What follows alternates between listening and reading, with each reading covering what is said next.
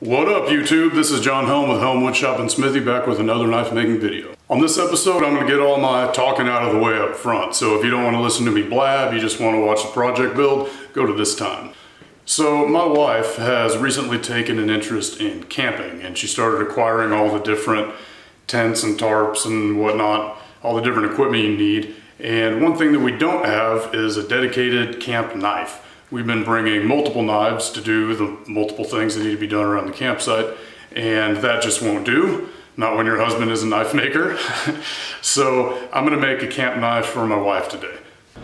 So here's what I came up with. This is basically a full tang camp knife that I put a clip point on so it kind of resembles a bowie knife. The reason I did this is because it goes well with a, an aggressive distal taper that way we can have a fine point for slicing things, carving things, and we can have a beefier base on the blade in case we need to chop anything.